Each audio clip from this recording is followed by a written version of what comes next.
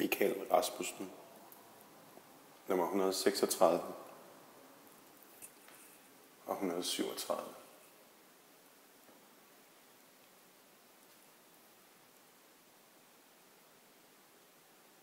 Et ansigtsfolder, lige så sammensat og knudret, som rødderne på det ældste træ. Vi, vi forstår ved menneskelemmer.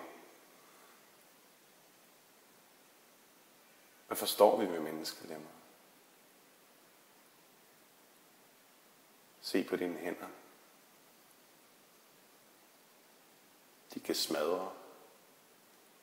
De kan ælte. De kan fortvivle. De kan bygge. De kan køre. Se på dine hænder. De kan knappe op. De kan røre ved dit ansigt, som er fyldt med gøen. Pille i din næse, der er et langt støvleskaft. Mærke alle dine fortvivlede lemmer. Der forgæves forsøger